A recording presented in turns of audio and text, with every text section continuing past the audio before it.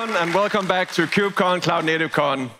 As the latest co-chair, I am deeply honored to extend my heartfelt gratitude to each and every one of you, the vibrant heartbeat of our ecosystem.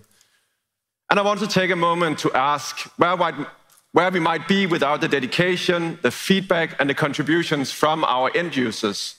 It is their invaluable insights and passion and commitment to innovation that has helped shape our cloud native journey and empowered us to push the boundaries of what is possible.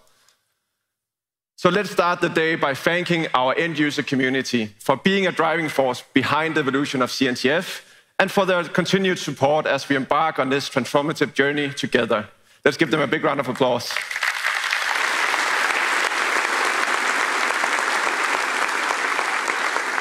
And with that said, I would like to introduce our first speaker of the day, Head of Ecosystem and Chief Pun Officer, Taylor Dolezal. Today, Taylor will take us on an exhilarating journey through the cloud native universe, delving into groundbreaking developments and remarkable achievements by end users. This keynote promises a celebration of innovation and collaboration, and offering a sneak peek into the future of cloud computing.